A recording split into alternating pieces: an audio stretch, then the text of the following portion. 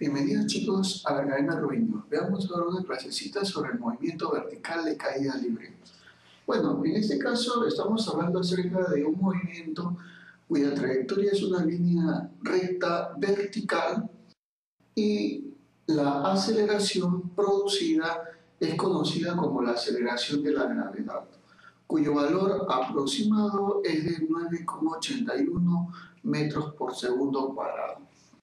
Obviamente para cálculos matemáticos nosotros lo vamos a redondear a 10 metros por segundo cuadrado. Claro, para que el análisis se haga mucho más sencillo, pero en otros casos tendría que considerarlo 9,81, en el caso de datos experimentales o algo por el estilo. Pero acá, como te vuelvo a recalcar, los estudios serían mucho más simples que eso. Bueno, vamos a analizar más o menos qué ocurre si yo lanzo un cuerpo verticalmente hacia arriba con una velocidad de 40 metros por segundo. Yo me doy cuenta que mientras que va subiendo, va disminuyendo su velocidad. Allá, profesor, ¿qué pasa en este caso? Claro, mira, tenía 40, ahora tiene 30, luego tiene 20, luego tiene 10. O sea, en cada segundo está perdiendo 10 metros por segundo. ¿Por qué, profesor? Porque esa es la aceleración de la gravedad, que apunta hacia abajo, o sea, quiere decir que desacelera todo cuerpo que sube. De tal manera que en cada segundo pierde 10 hasta encontrarse con una velocidad cero.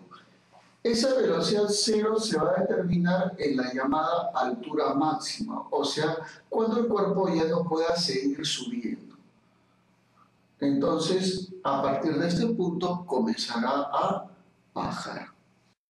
o sea, quiere decir que en un segundo ahora tendrá 10, en otro segundo tendrá 20, en otro segundo tendrá 30, en otro segundo tendrá 40, o sea, en cada segundo va a incrementar en 10. O sea, profesor, quiere decir que cuando el cuerpo baja, acelera, por supuesto, porque la aceleración de la gravedad va hacia abajo. Por eso, sube, se acelera, baja, acelera. Así de fácil es esto acá.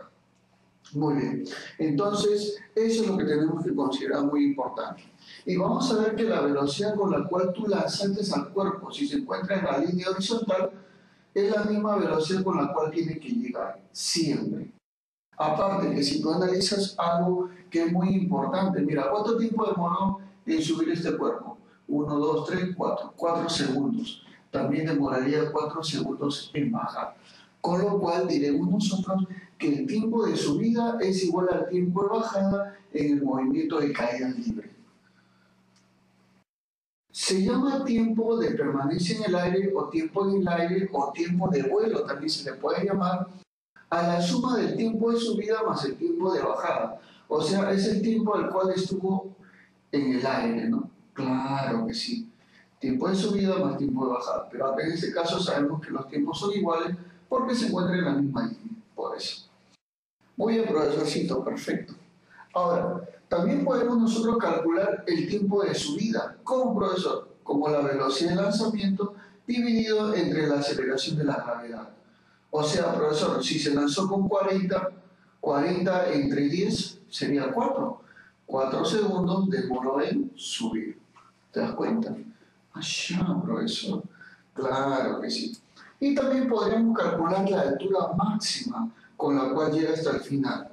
Hay dos formas de calcularlo. Si tienes de dato la velocidad de lanzamiento o si tienes de dato el tiempo de subida o tiempo de bajada, que es lo mismo.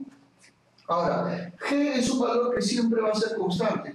Este es un movimiento muy sencillo porque G siempre lo vas a conocer. Nosotros trabajaremos por lo general con 10 metros por segundo cuadrado, salvo que se diga lo contrario.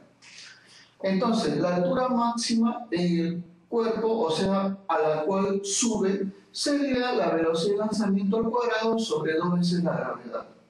O también podría ser un medio de g, que es la aceleración de la gravedad, por el tiempo de subida al cuadrado.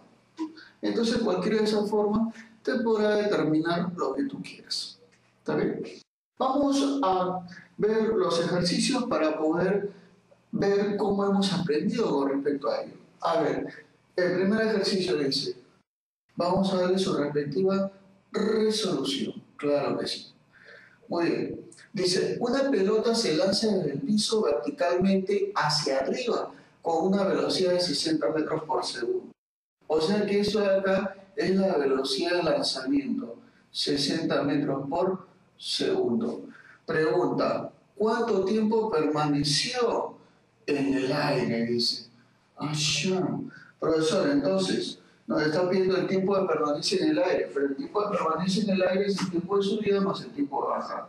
Tendré que calcular esos dos para poder dar mi respuesta. Profe, pero no puedo calcular eso. Fácil, mira. El tiempo de subida es la velocidad inicial entre g, que es la aceleración de la gravedad, y eso vale 10. Allá, o sea que el tiempo de subida sería velocidad de lanzamiento entre g, aceleración de la gravedad. La velocidad de lanzamiento vale 60 y la aceleración de la gravedad vale 10. Y bueno, acá se me van las pelotitas. Claro que sí. Y me queda 6 segundos. Muy bien, profesorcito, perfecto. El tiempo de subida vale 6 segundos y el tiempo de bajada igual, porque tú ya sabes que el tiempo de subida y el tiempo de bajada, ¿cómo son todas? Todas son iguales. O sea, este es igual a este. Tiempo de subida igual a tiempo de bajada. Ahora sí ya podemos hablar de respuesta. Me dice que el tiempo de permanencia en el aire, profesora, ¿qué es igual al tiempo de permanencia en el aire? Tiempo de subida más tiempo de bajada. Tiempo de subida vale 6 segundos, más el tiempo de bajada, que también vale 6 segundos, porque son igualitas como todas.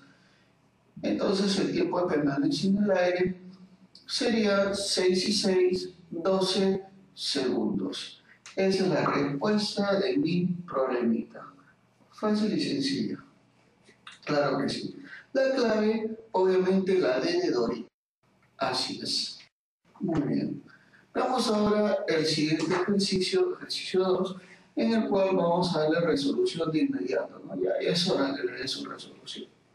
Claro que sí. A ver, profe, dice, se lanza un cuerpo en forma vertical hacia arriba alcanzando una altura de 180 metros como máximo. Profe, ¿qué cosa es esto? Esto es la altura máxima, caballero, señorita, la altura máxima. ¿Por qué, profe? Porque dice que esto acá es lo que ha alcanzado cuando ha sido lanzado hacia arriba, o sea, como máximo, la altura máxima. 180 metros.